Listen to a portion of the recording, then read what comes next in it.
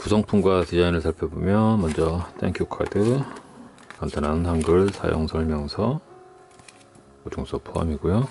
마이크, 오디오 분배기, 플러스 마이너스 마이크 음소거 기능 있는 리모컨, 금도금된 A타입 USB 단자에 벨크로가 포함됐고 노이즈 필터도 달려있는 직조 재질의 케이블이고요. 분리가 가능한 3급 마이크 편지를 벗겨보면 내부는 이런 모습으로 되어 있고요. 본체를 살펴보면 밴드 부분에 별다른 로고는 없고요.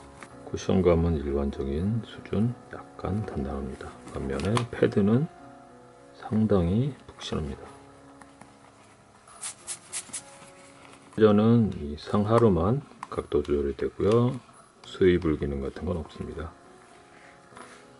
밥쇼 H 프로라고 되어 있는 이 금색 금속 부분이 길이 조절이 되도록 되어 있고요.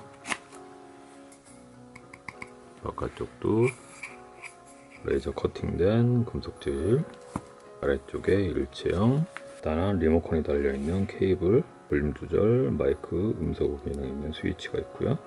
역시 직조 재질 4급 커넥터고요.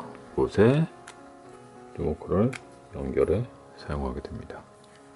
또는 PC에 연결할 때는 분배기를 이용해 연결을 하고요. 마이크는 케이블 옆쪽에 꽂아서 각도 조절해서 사용할 수가 있고요